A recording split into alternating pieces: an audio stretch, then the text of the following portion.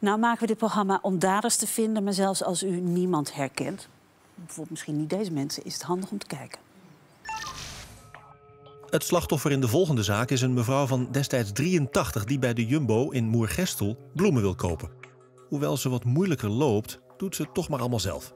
Even later heeft ze twee mooie bosjes uitgezocht en gaat stapje voor stapje naar de servicebalie.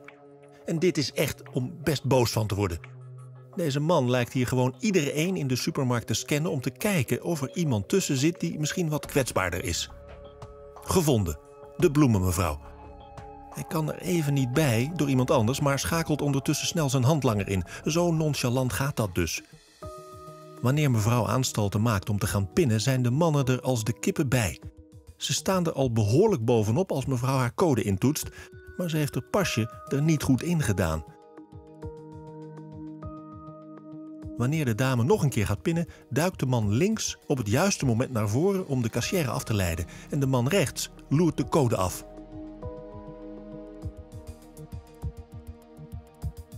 En als mevrouw vertrekt, gaan zij ook. Ze wordt op de voet gevolgd. Zonder dat de bejaarde mevrouw het beseft, gaan de twee mannen en een vrouw, blijkt nu, heel bewust achter haar aan. Ze volgden haar zelfs tot in haar tuin. Daar in die tuin heeft die blonde vrouw een glaasje water gevraagd. Dat heeft het slachtoffer heel lief gedaan. Opeens stond ook een van die mannen binnen. Nou, u snapt wat er toen is gebeurd. Mevrouw is afgeleid, haar pasje is gerold. En haar geld kon dus door hen gestolen worden... omdat deze mensen haar pincode wisten. Ontzettend laf.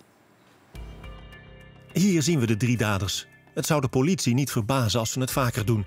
Alle mogelijke informatie over hen is welkom. Zeker ook over de man met de zonnebril, die zo de situatie aftast. Want hij is ook betrokken geweest bij de diefstal van een bankpas in Tilburg. Enig idee wie het zijn? Laat het snel weten.